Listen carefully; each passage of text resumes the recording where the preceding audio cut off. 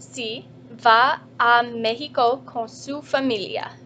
Sal el 17 de abril y regresa el 3 de mayo. Sí, es grande y bonita. Hay cuatro dormitorios y una piscina. Hay un televisor, cuatro baños y un patio. Él nadará, pasará mucho tiempo con su famili- fami- familia, familia y comerá, comerá mucho. No va a ver la televisión y no a comprar mucho.